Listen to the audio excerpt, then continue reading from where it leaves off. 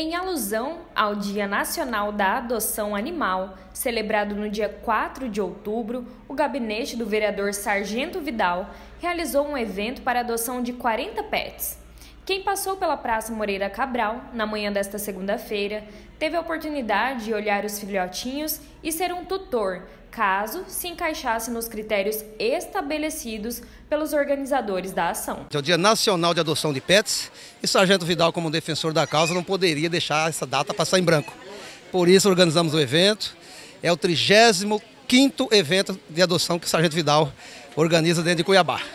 Né? Graças a Deus, todos serão adotados hoje. Muitas pessoas vieram cedo para pegar o seu pet, a sua alegria para dentro de casa. Muito importante, um evento é, muito respeitado pelo Sargento Vidal, o segmento, há 35 anos faz isso.